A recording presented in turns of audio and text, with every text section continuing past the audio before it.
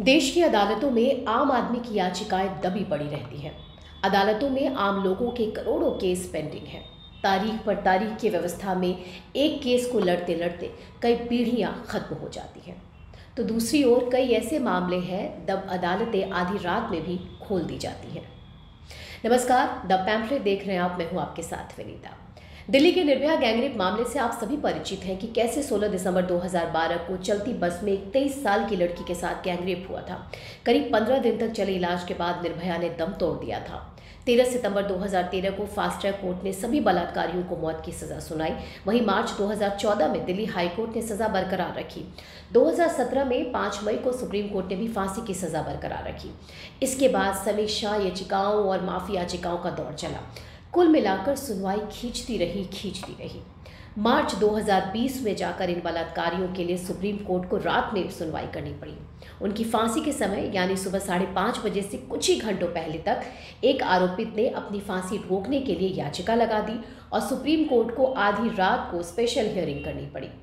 तीन जजों को रात को बैठकर 45 मिनट तक सुनवाई करनी पड़ी। हालाँकि सुनवाई में याचिका रद्द की गई और बलात्कारियों की फांसी का मार्ग प्रशस्त हुआ। सोचिए, आठ सालों तक निर्भया के परिवार को किस पीड़ा और किस चुनौती से गुजरना पड़ा होगा। दोष कब का साबित हो गया था, लेकिन अलग अलग कानूनी दावपेच का इस्तेमाल करके इसे लटकाया जाता रहा। निर्भया जब तक ज़िंदा रही, तब तक सांसों के लिए लड़ती रही और मरने के बाद आरोपियों की सजा के लिए परिवार को लड़ता देखती रही। लेकिन हमारे देश के कानून की विडंबना देखिए कि इसी देश में जहाँ एक बेटी को इंसाफ दिलाने के लिए देश के बड़े वकीलों की लॉबी नहीं थी, वहीं एक आतंकी की फांसी रुकवाने के लिए आधी रात को देश की सर्वोच्च अदालत खुल जाती है। पूरा देश टीवी के पास टकटकी लगाए बैठा रहता है। कोर्ट के बाहर मीडिया का जमावड़ा लग जाता है। ब्रेकिंग न्यूज़ की पट्टी चलने की प्रतियोगिताएँ शुरू हो जाती हैं। जी हाँ। उन्नीस सौ तिरानवे के बम्बई बम धमाकों के आरोपी याकूब मेमन की फांसी रुकवाने के लिए प्रशांत भूषण सरीखे वकीलों ने आधी रात में सुप्रीम कोर्ट खुलवा दी थी।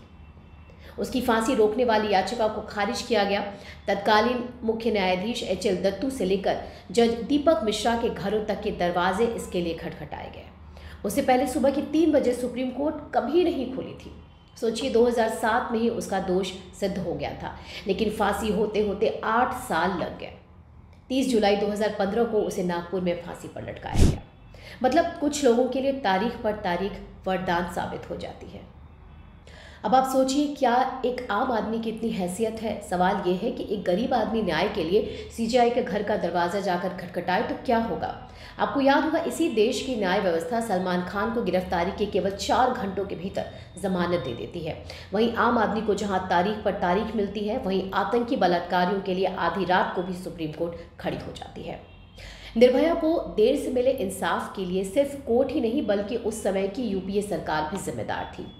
देश में बलात्कार की घटनाओं को रोकने के लिए बलात्कार संबंधित कठोर कानून फ्रेमवर्क को लागू करने में कांग्रेस पार्टी का रवैया ढुलमुल था निर्भया कांड के बाद भी कांग्रेस पार्टी महिला सुरक्षा के प्रति कितनी बेपरवाह थी, ये इस बात का सबूत है। दरअसल, कांग्रेस की अगुवाई वाली यूपीए टू सरकार ने रिटायर्ड सीजेआई जेएस वर्मा की अगुवाई में तीन सदस्यीय टीम का गठन किया था, जिसमें जाँच और कानूनी फ्रेमवर्क में बदलाव के सुझाव दिए गए, जिससे देश में बलात्कार की बढ़ती घटनाओं को कम करने में मदद मिल सके। समिति की तरफ़ से 23 जनवरी 2013 को रिपोर्ट सबमिट की गई थी। इंडियन एक्सप्रेस के साथ एक इंटरव्यू में न्यायमूर्ति वर्मा ने यह खुलासा किया था कि एक कांग्रेस सदस्य 5 जनवरी की आधी रात को उनके घर आया था। उन्होंने पार्टी के सुझावों को व्यक्तिगत रूप से समिति को सौंपने पर ज़ोर दिया था। न्यायमूर्ति वर्मा ने पत्र को स्वीकार करने से साफ़ इनकार कर दिया और कांग्रेस सदस्य को पत्र को या तो गेट पर छोड़ने को कहा या फिर अगले दिन विज्ञान भवन में समिति के दफ्तर में देने के लिए कहा। इस घटना के बाद सोनिया गांधी ने जस्टिस वर्मा को फ़ोन किया और व्यक्तिगत रूप से अपनी पार्टी के प्रतिनिधि के दुर्व्यवहार के लिए माफ़ी मांगी थी। मीडिया रिपोर्ट के मुताबिक पूर्व सीजीआई ने यह भी खुलासा किया था कि तत्कालीन केंद्रीय गृह मंत्री सुशील कुमार शिंदे, जिन्होंने समिति को नियुक्त किया था, समिति के साथ एक बार भी उन्होंने बातचीत तक नहीं की थी। कमेटी की रिपोर्ट को लेकर कांग्रेस पार्टी इतनी बेपरवाह थी कि रिपोर्ट को स्वीकार करने के लिए ना तो सुशील कुमार शिंदे और ना ही तत्कालीन केंद्रीय गृह सचिव आर के सिंह मौजूद थे।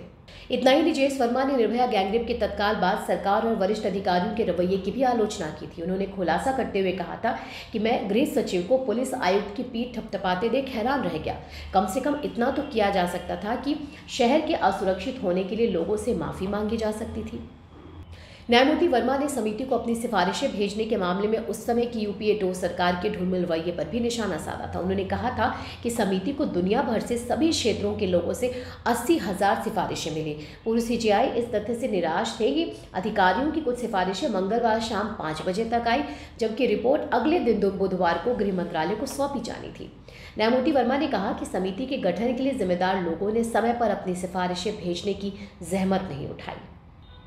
समिति राज्य पुलिस प्रमुखों से भी नाराज़ थी, जिन्होंने महिलाओं के खिलाफ अपराधों से संबंधित कानूनों में बदलाव के संबंध में कोई सुझाव नहीं भेजा, जबकि इसके लिए कहा गया था। न्यायमूर्ति वर्मा ने कहा कि अगर पुलिस महानिदेशकों का यही रवैया है तो उनकी नियुक्तियों की समीक्षा के लिए कुछ करने की ज़रूरत है। समिति ने सरकार को सौंपी अपनी 630 पन्नों की रिपोर्ट में आपराधिक कानूनों में संशोधन का सुझाव दिया, ताकि बलात्कारियों को अधिक सजा का प्रावधान किया जा सके। लेकिन हद तो तब हो गई जब दिल्ली की मुख्यमंत्री जो खुद एक महिला थी। हम बात कर रहे हैं स्वर्गीय शीला दीक्षित की, जिन्होंने एक टीवी इंटरव्यू में कहा था कि 2012 के निर्भया गैंगरेप को मीडिया में बहुत बढ़ा चढ़ाकर दिखाया गया। आखिर में सवाल ये कि बलात्कार जैसे जघन्य को भी शासन प्रशासन इतने हल्के में क्यों लेता है? क्यों ऐसे मामलों को सालों लग जाते हैं और इंसाफ की उम्मीद में पीड़िता और उसका पूरा परिवार सरकार और प्रशासन से उम्मीद लगाए बैठा रहता है? निर्भया गैंगरेप को ग्यारह साल हो गए।